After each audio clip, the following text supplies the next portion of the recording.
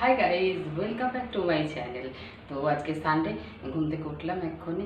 দিয়ে চোখ মুখ দেখে বুঝতেই পারছ চোখ মুখ একদম ফোলা ফোলা। তো উঠেই দেরি করে উঠেছি কিচেনে চলে এসেছি। এমনিতে সানডেতে আমরা ব্রেকফাস্ট কিনে খাই কিন্তু আজকে এত রোদ্দুর বাইরে দেখে তো প্রদীপ বলছে আর যেতে ইচ্ছে করছে না। হ্যাঁ, ঠিক আছে চলো একটা কিছু বানিয়ে নিই তো একটা জিনিস বানাচ্ছি আজকে।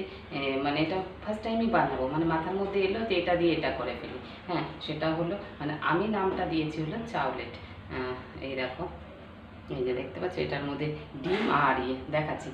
ডিম ফাটিয়ে নিয়েছি। তো যাই হোক, এটা বানাবো। এবার শীতকালে বিনস গাজর সারা বছরই পাওয়া যায়, সারা বছর আনে, কিন্তু শীতকালে একটু বেশি আনে। এবার বিট গাজরটা দেখলে না, বিট গাজর না, গাজর আর বিনস। গাজর আর বিনসটা দেখলে মানে আমারও মনে হয় ফ্রাইড রাইস আর চাউমিন করি, তাতে কী বলতো, একটু সবজি খাওয়া হয়। এমনি যদি গাজর বা বিনসের সবজি অতটা খেতে ভালো লাগে না। তো সবজি, আমি ওই জন্য শীতকালে বেশি ফ্রাইড রাইস আর চাউমিনটা করি। যাতে তাতে করে একটু সবজি খাওয়া যায়। আর প্রদীপ এমনি নুডলস অতটা ভালোবাসে না, কিন্তু তবু সবজি দেখে আমাকে বলল যে, তাহলে একটুখানি নুডলস নিয়ে আসি। আমি ভালো, তো সেই জন্য ভাবলাম এখন ব্রেকফাস্টে নুডলস করব। যে দিয়ে কিন্তু ভাবলাম না, এখন নুডলস না করে এখন অন্য কিছু করি, আর দুপুরবেলা ফ্রাইড রাইস করব। তাহলে ওখানে অনেকটা সবজি চলে যাবে তো মানে ভাতের থেকে বেশি আমি একটু সবজি দিই, সবজিটা খাওয়া তো চলো, অনেক কথা হয়ে গেছে ব্রেকফাস্টটা বানাই। এই যে একটা ডিম, এর মধ্যে ফাটিয়ে দিয়েছি নুন আর কাঁচা লঙ্কা দিয়ে দিয়েছি। এবার এর মধ্যে চাউমিন সেদ্ধ করে রেখেছি। না, দাঁড়াও, আগে ডিমটাকে না ফাটিয়ে নিই না, ডিমটাকে আগে ঘেটে নিই নাহলে এর মধ্যে চাউমিনটা দিয়ে দিলে না ঘাটা যাবে না ভালো করে। তো এই যে ডিমটা ফাটিয়ে নিয়েছি, ফেটিয়ে নিয়েছি। এবার এর মধ্যে দিয়ে দিচ্ছি চাউমিনগুলো। বা নুডলসগুলো আমি ভাবলাম এখন সবজি দিয়ে বানাবো, আবার দুপুরবেলা ফ্রাইড রাইস সেই সেমই হয়ে যাবে। তো সেই জন্য মনে এটা কিন্তু সেদ্ধ করে নিয়েছি নুডলসটা হ্যাঁ। এটা দিয়ে কিছু একটা বানাই। একটু অন্য রকমের খাওয়া হয়ে যাবে। একটা ডিমে মনে হচ্ছে কম হলো। আরেকটা ডিম দিয়ে দিই ফাটিয়ে দাঁড়াও। না, একটা ডিমেই ঠিক আছে, দুটো ডিম দিলে না বেশি পাতলা হয়ে ডিম এরম ছড়িয়ে কোন দিকে চলে যাবে। তো বানিয়ে ফেলি।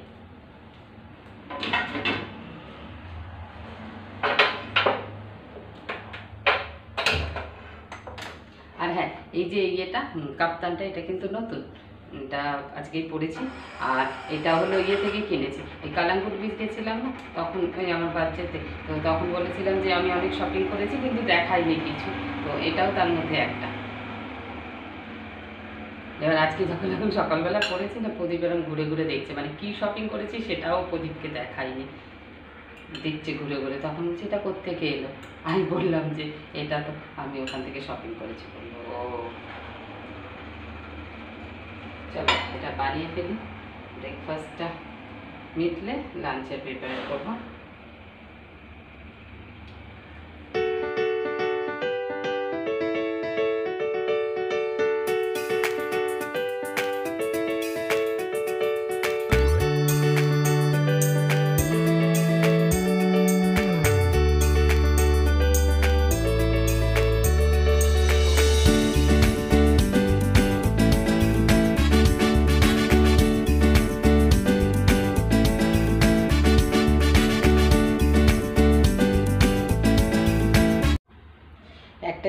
কেননা এটার সাথে আরও ফ্রুটস আছে, আর তাছাড়া অনেকটাই বেলা হয়ে গেছে, তো এখন যদি খুব পেট ভরে খেয়ে নিই, তাহলে লাঞ্চটা টাইমলি করতে পারব না।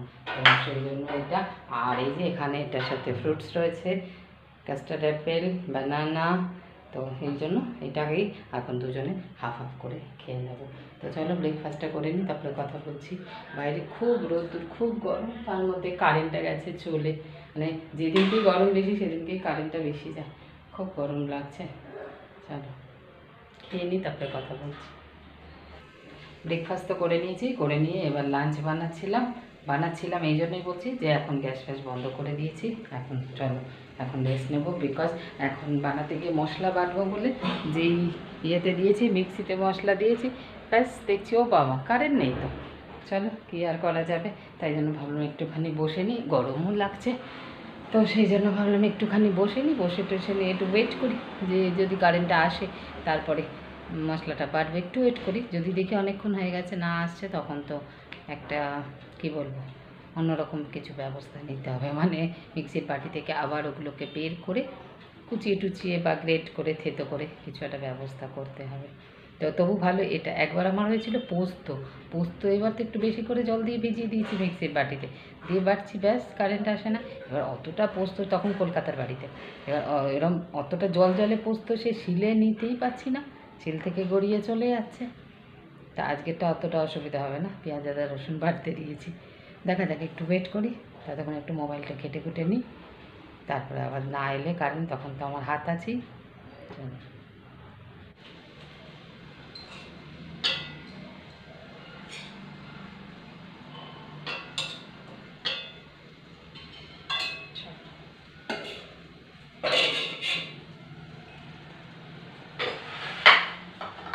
এই যে সানডে আজকে সিম্পল মেনু ফ্রায়েড রাইস আর কাঁচা লঙ্কা পনির, যেটা আমার ইনভেন্ট একটা বানিয়েছি বাট একটু ঝালই হয়ে গেছে। এখানকার কাঁচা লঙ্কা যদিও ঝাল না, কিন্তু বেশি দিয়েছি, ঝাল হয়ে গেছে।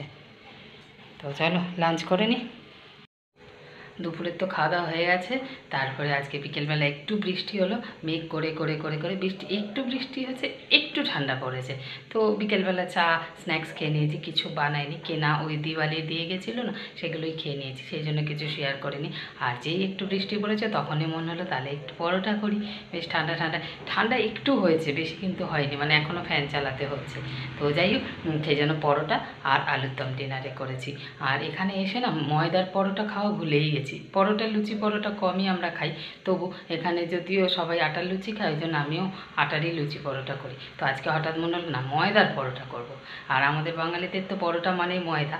তো যাই হোক, আজকে মনে ময়দার পরোটা করব। সে সেই জন্য ময়দার পরোটা, আলুর দম করেছি। ডিনারটা দেখে নাও কী কী। ডিনার হলো আলুর দম আর পরোটা, ধনে পাতার চাটনি আর সাথে ওই রাঙালুর পিঠে। এটা তো হতেই হবে। এখন কদিন আমাদের খাবারের সাথে এটা চলবে। আমারও পরোটা, আলুর দম, ধনে পাতার চাটনি আর রাঙালুর পিঠে একটা করেই নিয়েছি। খুব ভারী হয়, তার মধ্যে ময়দার পরোটা। তো এই হলো আজকে আমাদের ডিনার। ময়দার পরোটা, লুচির যেটুকু লেচি নিই, এবার পরোটার লেচি কিন্তু তার থেকে একটু বেশি নিয়েছি। তো যার জন্য একটু মোটা মোটাই হয়েছে, তারপরে আবার ওইটা অতটা যাবে। তো সেই জন্য একটা করেই নিয়েছি। আর তার মাঝখানে সন্ধেবেলা তো আমি খেয়েই নিয়েছি একটা, দুটো ঘুরতে ফিরতে। তো চলো তাহলে আজকে একদম সকালের ব্রেকফাস্ট থেকে রাতে কি কি খেলাম সব তোমাদের সাথে শেয়ার করেছি। এরম বোধ ফার্স্ট টাইম করলাম। এর আগে কোনো দিন করিনি। কোনো না কোনোটা হয়তো মিস গেছে। তো তোমার বিকেলে চাটা শুধু আজকে দেখাইনি। যাকে আর মাঝখানে জল খেয়েছি, সেটা আর কি দেখাবো। তো চলো তাহলে আজকে সানডের ব্লগ এখানেই শেষ করছি। সবাই ভালো থেকো, সুস্থ থেকো। বাবাই